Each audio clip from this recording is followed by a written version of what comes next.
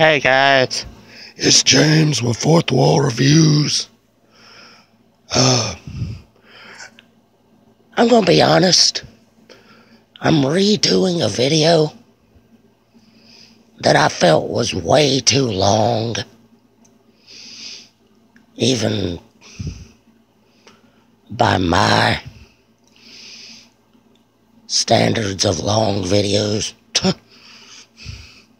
And I may be redoing another one. So I'll have to see about that.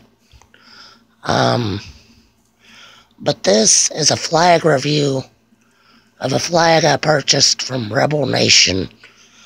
This is the South Carolina secession flag, also known as the Bonnie Blue flag, or Carolina secession flag. Let me be general. Carolina secession flag. But I think it's more popular in South Carolina. Um, but this is a 3x5 polyester flag.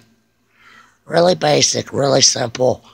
Blue background, giant white star. Um, um, the Bonnie Blue flag was a American Civil War secession flag for the southern states. I'd like to get the Georgia rendition, which is just a white flag with a red star. But I don't really need it since I got this one. Um,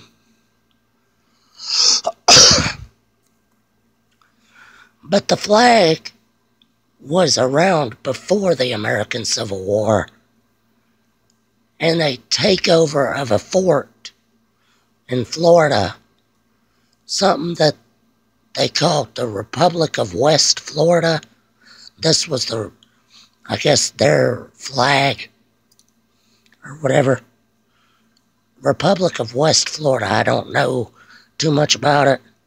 All I know is that was the first appearance of the Bonnie Blue flag and it's seen a resurgence in the Civil War as a secession flag. Um,